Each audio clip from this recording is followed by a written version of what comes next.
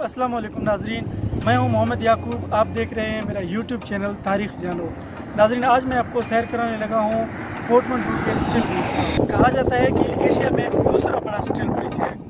तो आज हम इसके बारे में आपको बताएँगे। यकीन ये वीडियो आपको पसंद आएगा। हमारे साथ जैसा कि मैं बता चुका हूँ कि ये पुल एशिया का दूसरा बड़ा पुल है और एशिया की सबसे बड़ी पुल देंगन कुशन पुल है। जो चाइना में शिंगाई को नानजिंग से जोड़ती है। फोर्टमंडरू के मकाम पर वाक़ ये पुल 12 किलोमीटर तवील है।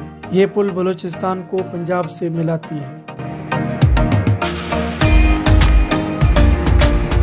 फोर्टमंडरू सतह समंदर से 6000 फुट बुलंद है। ये एक सेहत अफजा और सियाती मकाम है। हर साल हज़ारों अफराद पंजाब से यहाँ आते हैं और फोर्ट मंडरू की बेहतरीन मौसम से लुत्फानंदोज होते हैं। इस पुल की तमीर से कबल इस रास्ते पर आमदोरफ्त इंतहाई मुश्किल और पुरखतर था। यहाँ बेशुमार हादसा होते थे और ये सड़क कई कई दिनों तक बंद रहती थी। पुल की तमीर के बाद जहाँ इसकी मुसाफत आदि रह गई है, वहीं इस सड़क पर ख़तरनाक मोड़ और उतराइयाँ ख़त्म होने की वजह से हादसा की शरह भी कम हो गई।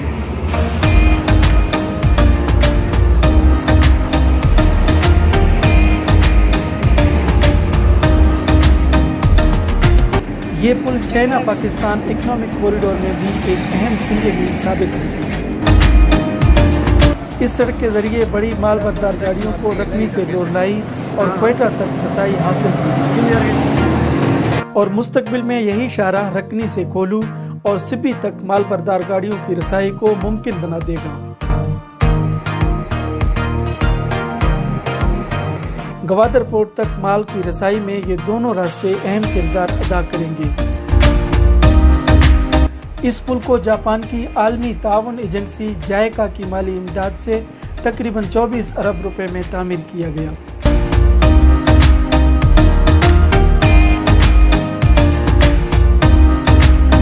ये इमदादी रकम इंतहाई कम शरह सूद, यानी ज़ीरो इशारिया दो फ़ीसद में हासिल किया गया।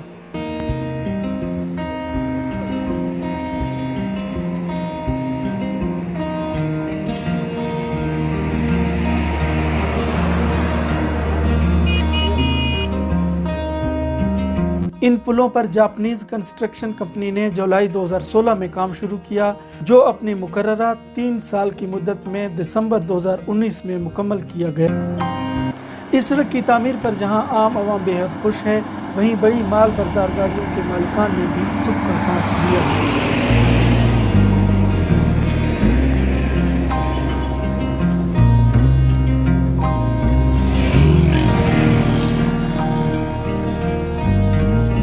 ये पुल इंतहाई मज़बूत बनाए गए हैं, जो जलजिले की शिद्दत को भी बर्दाश्त कर सकते हैं। और लैंड स्लाइडिंग से बचने के लिए सड़क के अतराफ में दीवारें भी तामीर की गई हैं।